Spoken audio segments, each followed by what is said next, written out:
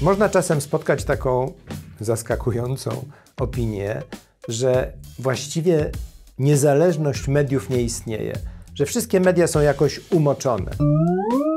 No, gdyby tak było, proszę Państwa, to powinniśmy zamknąć nasz portal, ale też wszyscy porządni dziennikarze i dziennikarki powinni zmienić zawód, ponieważ istotą naszej pracy jest właśnie niezależność. Ta niezależność nie oznacza wcale tak zwanego obiektywizmu, czyli ideału tak zwanego dziennikarstwa anglosaskiego, które zresztą, nawiasem mówiąc, jest też wymysłem, dlatego że każda korespondencja z Ukrainy czy ze strefy gazy niesie określony przekaz wartości, nie jest po prostu obiektywnym opisem tego, co tam się dzieje. Już sam fakt wyboru tematów jest y, motywowany jakimiś wartościami, które wyznaje dana redakcja.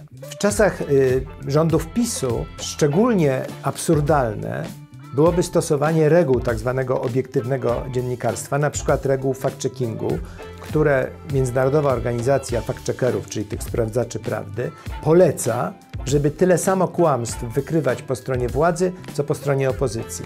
No w czasach PiSu, które, którego władza była oparta na jednym wielkim kłamstwie i manipulacji, oznaczałoby to po prostu oszukiwanie publiczności. Obecnie sytuacja jest oczywiście dużo ciekawsza. Panie pośle Suski. Ale zarazem ciągle aktualne jest to hasło, że media muszą pozostać niezależne z jednej strony, a z drugiej strony, to jest moja teza, muszą pozostać w jakiś sposób zaangażowane, pokazujące, że wartości są im bliskie i że są skłonne tymi wartościami kierować się w doborze tematów, ale także w sposobie ujęcia tych tematów.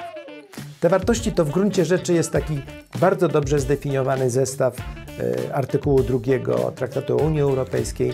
Tam jest kwestia praworządności, praw e, rozmaitych grup, praw człowieka, a także e, równości społecznej. To są te wartości, którymi Okopres się kieruje.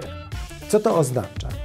No, ano, jeżeli tak się podchodzi do świata, to oznacza to niezależność od władzy politycznej, czyli unikanie jakiegokolwiek śladu partyjnego myślenia o świecie. W czasach wyborów na przykład y, Okopres jako jedyne medium tak bardzo konsekwentnie y, demaskowało i sprzeciwiało się narracji o tak zwanej jednej liście politycznej, jednej liście partyjnej, jednej liście wyborczej, dzięki której opozycja miała wygrać wybory. Myśmy cały czas podkreślali, że to jest metoda, która się a nie sprawdziła na Węgrzech i w Turcji, bez sondaży wynika, że nie będzie skuteczna.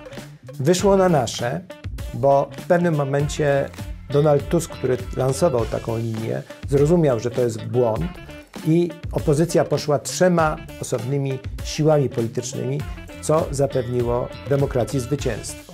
Dzisiaj, kiedy mamy już władze demokratyczne, ten postulat niezależności polega na zachowaniu krytycyzmu wobec tego, co władze robią. Czyli mówiąc popularnie, czepiania się. No, mamy taki podział pracy, że władza demokratyczna ma dobrze rządzić, przestrzegając reguł, zasad i wartości, a media mają im patrzeć na ręce. Okopres czepia się. Czepia się na przykład marszałka Hołowni, który wykonał jakąś niezwykłą zupełnie figurę, odsuwając na po wyborach debatę o aborcji i rozczarowując no, to podstawowe grono wyborców, którym zawdzięcza opozycja zwycięstwo 15 października. Czepia się rządu, kiedy rząd uprawia populizm edukacyjny w formie nagle nieskonsultowanego, nieprzegadanego, niepopartego badaniami zakazu prac domowych. Czepia się wreszcie pomysłu renty socjalnej,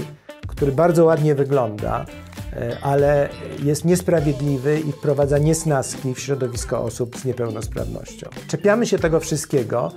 Dlaczego? No, nie dlatego, że jesteśmy złośliwi z natury, chociaż może też trochę, ale dlatego, że po prostu bulwersują nas błędy w imię wartości, które te błędy naruszają. Czy zatem istnieją media niezależne? Oczywiście tak. Media muszą być niezależne. Po pierwsze od polityków, bo taka jest nasza rola. Po drugie od biznesu. My na szczęście nie mamy reklam.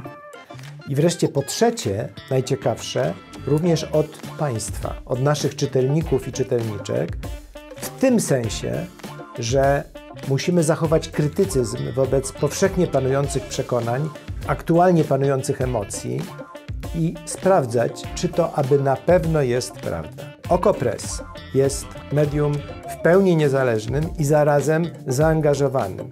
Realizujemy to, co nazywa się czasem civic journalism, czyli dziennikarstwo obywatelskie. I do takiego medium Państwa zapraszamy, zapewniając, że będziemy niezależni również czasem od panujących powszechnie opinii, co, mam nadzieję, będzie cenione jako po prostu wkład w debatę publiczną, wkład w pełni niezależnego medium. I na koniec chciałbym Państwa też zaprosić do tego, żeby wesprzeć tego rodzaju dziennikarstwo i wesprzeć nasze medium, ponieważ niezależność niestety kosztuje. W czasach y, autorytarnych może kosztować utratę pracy albo nawet więzienie. W czasach w pełni demokratycznych musi kosztować po prostu konkretne pieniądze, dlatego że praca ludzi kosztuje. I po prostu chciałbym Państwa bardzo serdecznie poprosić o to, żeby, że jeżeli sobie cenicie niezależność dziennikarstwa, żebyście wpłacili 1,5% swojego podatku na OKO.press, po to, żeby tę niezależność wspierać. Niezależność, powtórzmy, od polityków, od biznesu, a także od opinii, które wydają się wszystkim oczywiste, a czasem zupełnie nie są oczywiste.